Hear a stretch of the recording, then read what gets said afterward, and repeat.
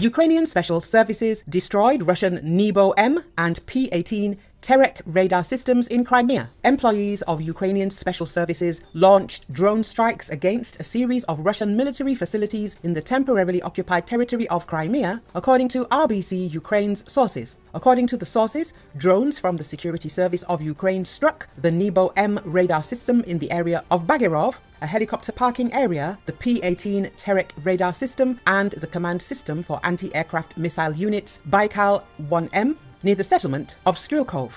Last explosions on military objects in Crimea are the result of an Ukrainian special services operation, the sources specify. They add that this was the way of greeting occupiers by Ukrainian special services on International Volunteer Day, reminding them once again that Ukrainian land would literally burn under the aggressor's feet. It's worth noting that explosions regularly occur in the temporarily occupied Crimea. Often, they are the result of precise strikes by Ukrainian forces against Russian occupiers. For instance, Russians complained about a drone attack on an oil depot in Crimea. Ukraine has not yet commented on this information.